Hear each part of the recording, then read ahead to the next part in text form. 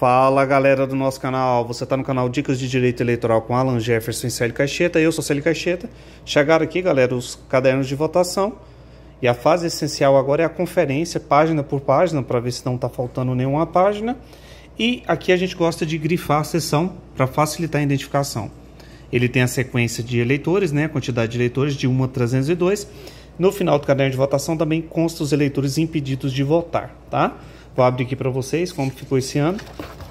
Essa sequência aqui, ó, que a gente confere, folha, né? Quantas folhas é, estão no caderno de votação. E quando acaba a sequência de eleitores, ele fica cheio de X. Aí você sabe que a quantidade de eleitores está toda no caderno, né? Porque pode ser, pode acontecer, né? Já aconteceu que em 2018 uma falha de impressão e, e não vira uma folha ou outra. Dá para você já entrar em contato com o TCE e resolver, tá?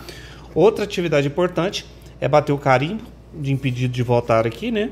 Nos cadernos de votação, os eleitores que tiveram o título cancelado após o, o, o fechamento do código ASE de suspensão, tá? Dos direitos políticos ou de cancelamento, no caso específico, tá bom? No final do caderno de votação, temos duas listas. A lista dos eleitores é, com título cancelado a partir de novembro de 2020.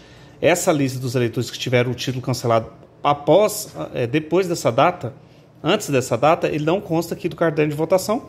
Aí você vai decidir se vai fazer uma lista alternativa ou não, beleza?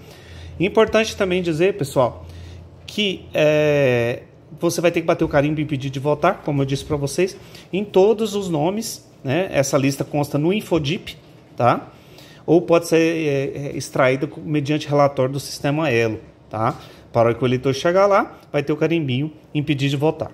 Por fim, outra recomendação também são os eleitores com transferência temporária. Os eleitores que tiverem feito a transferência temporária vão ter um caderno único, tá? Separado desse caderno de votação. Então significa, por exemplo, um mesário seu pediu transferência temporária para outro colégio. Nesse caso, o nome dele vai constar nesse caderno e no caderno da sessão temporária do outro local. Então, a gente vai fazer uma anotação aqui, porque o o eleitor que fez a transferência temporária não vai conseguir votar nessa sessão, apenas naquela que ele pediu provisoriamente, ok? Então essas são as providências que a gente entende necessário no caderno de votação, beleza? Um grande abraço.